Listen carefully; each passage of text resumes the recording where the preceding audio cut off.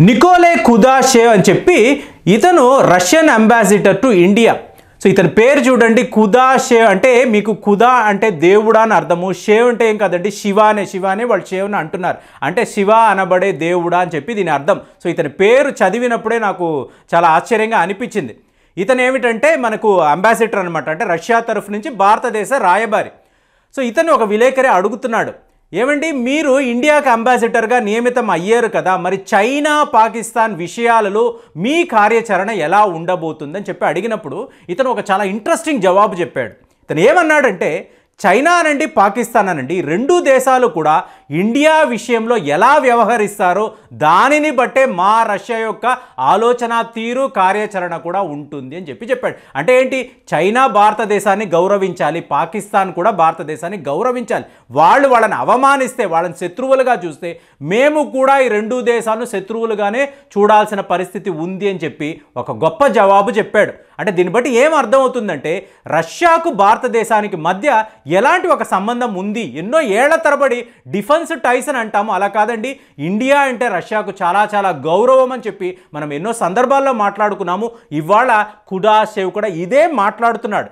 అంటే ఇతను ఏమంటాడు అంటే మీరు భారతదేశానికి రష్యాకు మధ్య ఉండే ఈ డిఫెన్స్ కోఆపరేషన్ తీసుకున్నారు అనుకోండి ముఖ్యంగా బ్రహ్మోస్ ఈ బ్రహ్మోస్ మిజైల్స్ విషయంలో ఇవాళ ఒక కొత్త చాప్టర్ అనేది మొదలైంది. మా ఇద్దరి కోఆపరేషన్లో మేము ఈ బ్రహ్మోస్ను విదేశాలకు ఎక్స్పోర్ట్స్ చేస్తున్నాము అండి. అంటే ఏంటి? మొన్న మొన్న ఫిలిప్పైన్స్తో డీల్ కుదిరింది. కాబట్టి ఫిలిప్పైన్స్ నుంచి ఇవాళ తాయివాన్ అనండి వియత్నాం అనండి అలాగే యుఏఈ అనండి వీళ్ళందరికీ కూడా మనం ఈ బ్రహ్మోస్ను ఎక్స్పోర్ట్ చేయబోతున్నాం.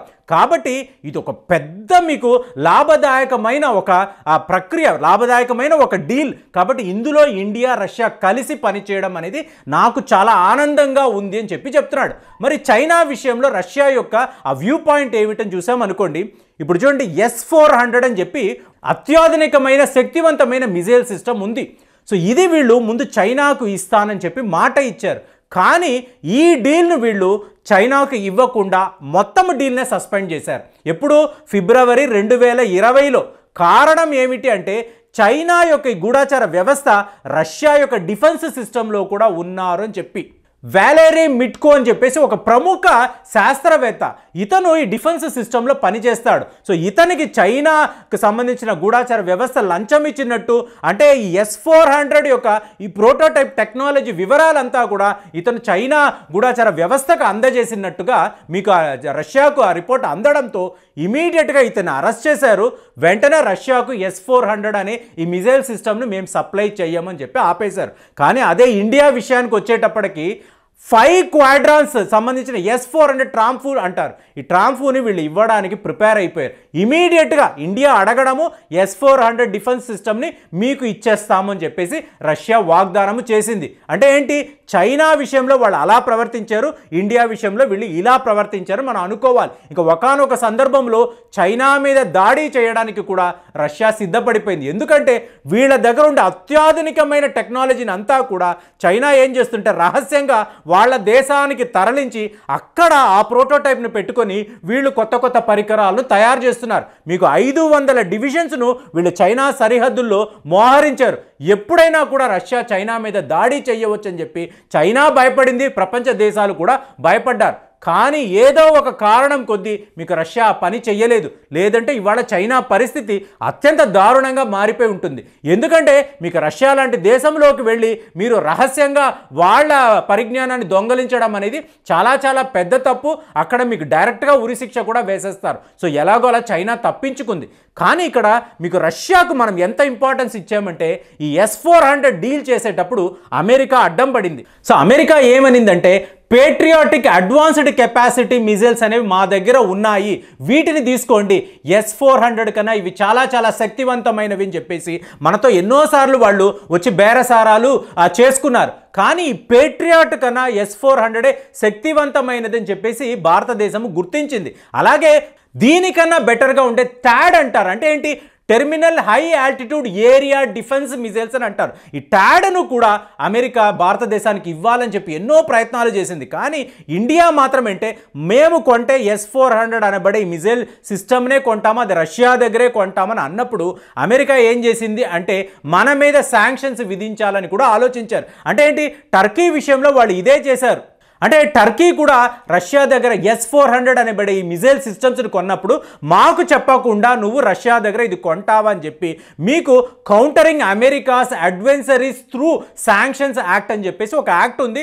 దాని ప్రకారం టర్కీ మీద వాళ్ళు శాంక్షన్స్ విధించారు. మరి ఇదే పని ఇండియా విషయంలో చేయగలిగారా అంటే మనం ఏకంగా five squadrons S four hundred మిజైల్స్ని మనం కొన్నాము. కొన్నప్పుడు అమెరికా ఈ పని చేయగలిగిందా అంటే వాళ్ళు చేయలేకపోయారు అంటే ఏంటి?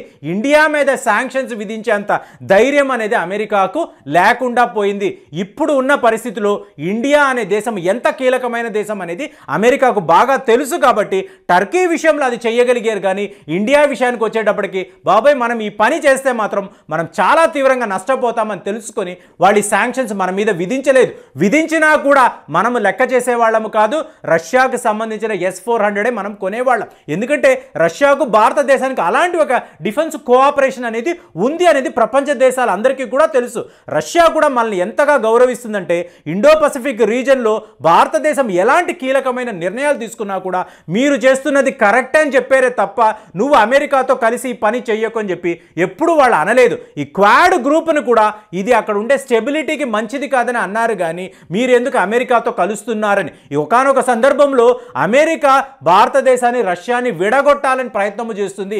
ఇది మంచిది కాదని అన్నారు కానీ ఇండియాని ఎప్పుడు కూడా వాళ్ళు బ్లేమ్ చేయలేదు. మనల్ని శత్రువుగా వాళ్ళు ఎప్పుడు కూడా చేయలేదు. ఇవాళ ఎక్స్పో ఇండియా ట్వంటీ ట్వంటీ వన్లో మీకు అంటే ఇది ఒక డిఫెన్స్ ఎక్స్పో అండి. ఇక్కడ మీకు రష్యానే ద మోస్ట్ మేజర్ పార్టిసిపెంట్ వాళ్ళ దేశానికి సంబంధించిన సుకాయ్ ఫిఫ్టీ సెవెన్ అనండి సుకాయ్ థర్టీ ఫైవ్ అనండి అలాగే మీకు అడ్వాన్స్డ్ హెలికాప్టర్స్ అనండి ఎస్ ఫోర్ హండ్రెడ్ అనండి. వీటిని అంతా కూడా వాళ్ళు తీసుకొచ్చి డిస్ప్లేలో పెట్టబోతున్నారు. సో ప్రపంచ దేశాల్లో నుంచి ఉన్న యుద్ధ నిపుణులందరూ కూడా ఇండియాకి రాబోతున్నారు. సో ఇక్కడ రష్యానే చాలా కీలకమైన పాత్రను పోషించబోతుందని చెప్పి ఇండియా కూడా భావిస్తుంది. కాబట్టి మనం ఇలా చూసామనుకోండి చైనా పాకిస్తాన్ అన్నప్పుడు వీళ్ళు ఇండియాతో ఎలా ప్రవర్తిస్తారు? ఇండియాతో వీళ్ళు మంచిగా ఉంటేనే రష్యా వాళ్ళతో మంచిగా ఉంటారు.